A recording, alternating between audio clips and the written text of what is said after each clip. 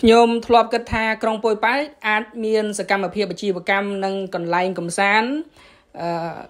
ច្រើនជាងព្រំបន្តិចបន្តួចឬក៏ប្រហាក់ប្រហែលក្រុងបាវិតតែពេលមកដល់ធ្វើឲ្យខ្ញុំភ្ញាក់ផ្អើលមែនទែនក្នុងវីដេអូនេះចង់បង្ហាញបងប្អូននៅទស្សនវិជ្ជាមួយចំនួននៃក្រុងប៉ោយប៉ែតចំពោះអ្នកបម្រើការងារទីនេះភាគច្រើនជនជាតិឥណ្ឌូនេស៊ីបន្ទាប់ហ្វីលីពីន ជនជាតិចិន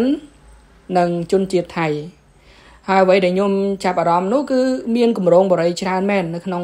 ក្រុងប៉ោយប៉ែតនេះ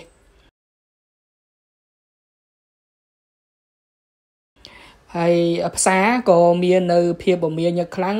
ជាមួយនឹងមុខទំនិញប្លែកៗគ្នាជាច្រើនហើយអ្វីដែលពិសេសនោះគឺមានកន្លែងកំសាន្តពេលយប់ហ្នឹងគឺច្រើនលើសលប់ហ្មង មានក្លឹបមានផាប់ មាន KTV ច្រើន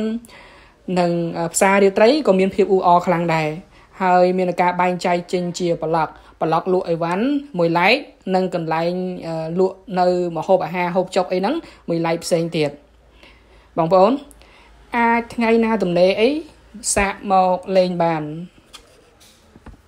កុំភ្លេចចូលទៅមើលវីដេអូដូចនេះជាច្រើនទៀត